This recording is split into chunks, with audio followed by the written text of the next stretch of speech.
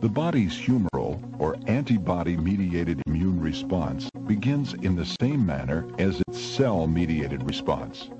But here, the macrophages are joined by lymphocytes, called B cells.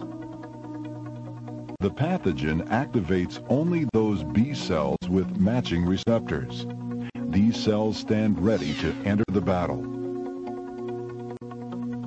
Meanwhile, the antigen-presenting macrophages activate those helper T cells with matching receptors. These, in turn, rendezvous with activated B cells.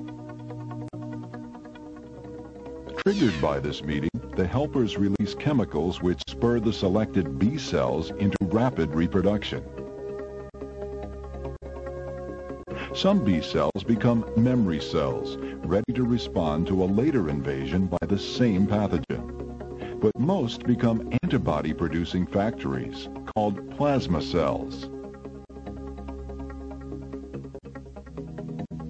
Freely circulating in the body, antibodies dock with pathogens. This neutralizes them, or marks them for destruction